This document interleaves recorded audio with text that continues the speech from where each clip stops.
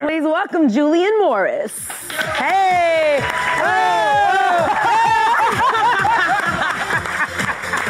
he twerked his way on stage. Oh, oh, oh, oh, oh. You're amazing at that. I'm Am I- so- yeah, like wow. Thank you so much. Thank you so Oh, much. well, well, well, thank you so much. having me. So, Got to talk about Pretty Little Liars. Yeah. Uh, that fan base is rabid. Did they follow you over to Hand of God? What's that experience? Yeah, some of them did. Um, I mean, the great thing was that that you know I grew up on the show Pretty Little Liars, had the time of my life doing it, and then wanted more of a challenge, Mm-hmm. which was Hand of God, and then so some of that audience came along. Right. But I've had the best time doing it.